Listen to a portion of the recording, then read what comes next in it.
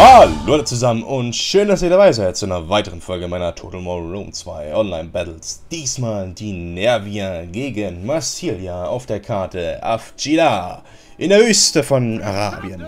Kämpfen zwei Völker, die sonst nie aufeinander treffen würden in der Wüste. Ja, kann man es eigentlich beschreiben. Und ich habe heute mich für die Nervia entschieden, was ein sonderbares Volk ist.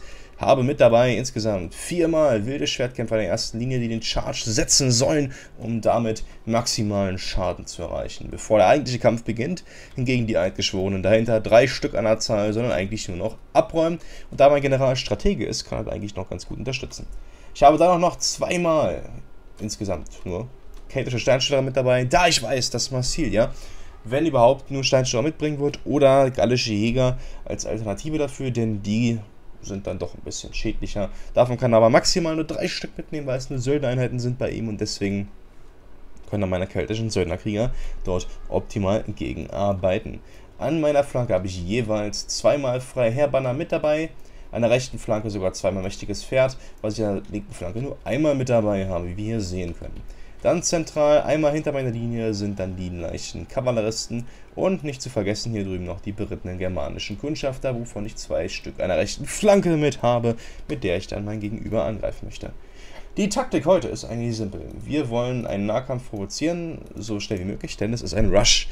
Das heißt also, wir chargen so schnell rein mit den wilden Schwertkämpfer, wie es nun geht, und hauen die Eidgeschworenen hinterher, um dann seine Linie komplett zu destabilisieren und somit den Kampf zu gewinnen. Da Marsilia sowieso nicht so bekannt dafür ist, gute Schwertkämpfer mitzubringen, sollten sie im Schwertkampf mir sowieso nicht überlegen sein. An den Flanken habe ich mich dafür entschieden, mehr auf Masse statt Klasse zu setzen, um damit meinen Gegner einzuschüchtern. Dafür ist mein Defizit aber mehr im Fernkampf, denn nur zwei, äh, zwei Steinschütter sind relativ wenig. Mein Gegenüber heute ist wieder mal Naschlapp. Mit dabei hat er insgesamt dreimal massilianische Obliten, die wir in seiner ersten Linie sehen können, die auch noch die Moral pushen, was eigentlich nicht schlecht ist. Und dahinter viermal Leinenpanzer-Schwertkämpfer. An der Flanke hat er jeweils einmal freie Herbaner mit dabei, um die Flanke zu unterstützen. Ähm, ein Tipp nochmal für euch vorweg. Die Einheit so schräg aufzustellen, wie er es jetzt macht, bringt in der Wirklichkeit eigentlich nichts. Schlauer wäre es, den Trupp hier aufzustellen, mit einer kleinen Lücke zwischendurch. Denn hier wird sowieso keiner durchgehen und wir sind mal eben deutlich breiter wieder als vorher. So, dann hat er noch mit dabei zweimal Peltasten hinten im Hintergrund zu stehen. Er hat an seiner rechten Flanke einmal leichte Kavallerie, genauso wie an seiner linken Flanke. Den Trupp können wir drüben sehen. Und er hat dann auch noch mit dabei einmal Plankler-Kavallerie, was an der rechten Flanke wieder steht. Dann dürfen wir nicht vergessen, hat er noch einmal, äh, einmal, zweimal mit dabei die Lanzen-Hippies zentral als Reserve. Und was wir jetzt nicht sehen können, insgesamt dreimal gallische Jagdzöhner, die hier vor seiner ersten Linie stehen. Gut, ich habe natürlich jetzt eine offensive Strategie, werde deswegen auch schnell den Nahkampf suchen. Anfangs versuche ich aber erst immer noch ein bisschen zu kiten. Vielleicht kann ich dadurch ein paar Schlüsseleinheiten ausschalten oder in Fehler locken, wie zum Beispiel leichte Kavallerie oder auch Plänkler-Kavallerie. Dafür eignen sich zum Beispiel meine berittenen germanischen Söldnerkundschafter ziemlich gut.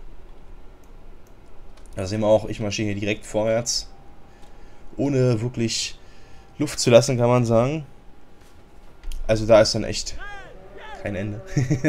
Einfach offensiv rein, ne? Nein, ich wollte mir die leichten Kavalleristen hier drüben schnappen, da die ja wirklich eigentlich nur ein Angebot sind für mich. Oder auch die Lanzepies, beides wäre ein Wunsch für mich, weil ich die Lanzepies dann doch lieber gerne, also eigentlich viel lieber beschossen hätte. Deswegen versuche ich da auch möglichst schnell hinzugehen, aber wir sehen jetzt gleich, dass hier drüben seine Jagd sondern wir versuchen dann einen Strich durch die Rechnung zu machen, indem sie mich beschießen und dabei jetzt schon einer meiner Reiter gestorben ist. Naja, nicht so schlimm. Ich marschiere jetzt deswegen auch vorwärts, weil ich wusste, okay, ich muss jetzt nicht unnötig lange warten. Da können wir auch ruhig in den Nahkampf mit reingehen, indem wir jetzt hier noch zeitgleich an mehreren Flanken beschäftigen. Denn während er hier beschäftigt ist, gehe ich noch vorwärts vor. Das heißt also, dass er hier auch noch bald unter Zeitdruck gerät. Und er muss immer darauf achten, was ich hier tue. Er schickt auch seine Kavallerie an der Flanke vorwärts, was von ihm auch noch ein bisschen Micromanagement erfordert. Heißt also, er muss sich auf diesen Teil genauso stark konzentrieren, wie er sich auf den Teil konzentrieren muss und auf den Teil hier. Deswegen schaffen es auch meine Plünderer hier drüben, ähm, äh, Kundschafter meine ich, seine Kavallerie drüben schon ein bisschen zu beschießen und ein paar Männer mitzunehmen, was ja im Endeffekt gut für mich lief. Seine Bogenschützen beschießen mich zwar noch weiter, treffen aber hier zum Glück leider keinen weiteren Mann. Leider, zum Glück keinen weiteren Mann. Ich habe jetzt auch die Nahkämpfe schon angesagt, da ich aber einen Trupp mehr habe in der Linie. In der ersten Linie habe ich meine äh, wilden Schwertkämpfer hier drüben noch zurückgehalten, sodass meine restlichen in Ruhe in Charge schützen können. Und ich habe noch einen Reservetrupp, den ich dann einsetzen kann, um mich um den Rest seiner Armee zu kümmern. Hier drüben schickt er seine leichte Kavallerie durch dieses kleine Fleckchen an Gebüsch. Dadurch verschwindet es jetzt natürlich hier und ich sehe es nicht mehr. Blöd gelaufen für mich im Endeffekt, denn ich sehe sie jetzt gerade nicht, aber gut. Ich habe es gewusst, dass sie da ist und wusste, dass ich darauf reagieren muss.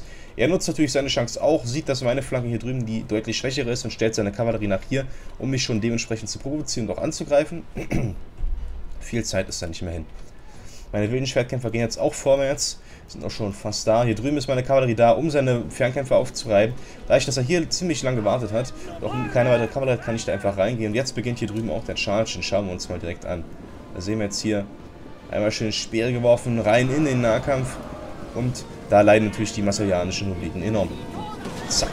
Einmal schön im Nacken rein. Naja, an der Flanke hier sieht es ganz gut aus. Meine Kavallerie kann ich jetzt darauf konzentrieren, hier drüben seine Fernkämpfer weiter zu jagen. Hier hinten seine freien Heerbanner werden von meinen Heerbannern gecatcht, da sie von der Flanke angegriffen wurden. Naja, machen sie halt noch mehr Verluste.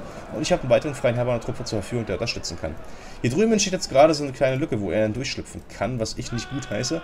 Das war ein Fehler von mir, aber da muss ich jetzt leider noch mit leben. Ich schicke meine Infanterie dafür auf meiner rechten Flanke drum herum und versuche hier in den Rücken noch reinzukommen.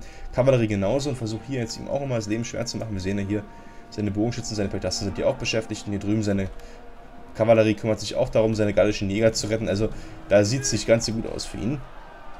Da ich das jetzt hier aber nochmal beschießt, verliere ich hier drüben mal vorher viele Männer, was ärgerlich für mich wieder ist.